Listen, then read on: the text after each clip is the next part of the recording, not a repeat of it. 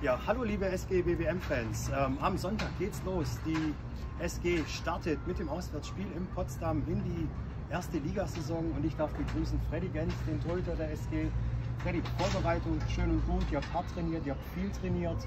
Wie war die Vorbereitung für dich persönlich und äh, wie arg freut ihr euch, dass es jetzt endlich losgeht? Also wir freuen uns äh, richtig, dass es jetzt losgeht. Äh, Vorbereitung ist immer das Ding. Äh, wir müssen als Mannschaft hart arbeiten, äh, auch persönlich äh, hart, hart, arbeiten. Ähm, lief alles soweit echt gut. Klar gibt es immer Sachen, wo man dran arbeiten muss, äh, aber ist auch gut. Ähm, aber jetzt sind wir auch sehr froh, dass die Vorbereitung vorbei ist und es wirklich losgeht.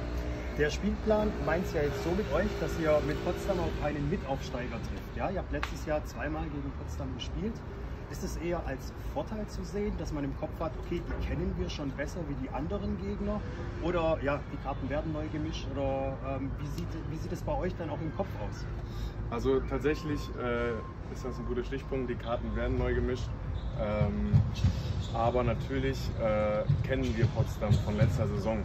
Und dass es jetzt direkt das erste Spiel äh, ist, äh, mag Vor- oder Nachteil sein. Die kennen uns ja genauso gut. Ähm, deshalb, äh, klar, wir, äh, wir, können uns gut darauf vorbereiten, aber es ist eine neue Saison und äh, die Karten werden so auch neu, neu gemischt.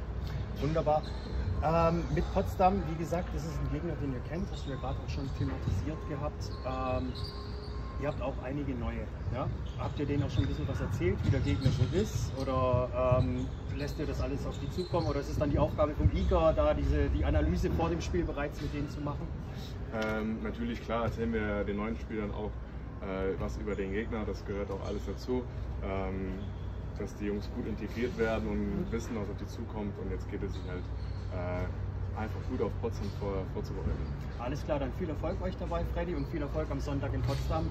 Und ja, viel Spaß, äh, schaut das Spiel an auf dünn, bucht das Spiel und wir freuen uns dann aufs nächste Spiel, dann hier zu Hause gegen Rhein-Neckar München.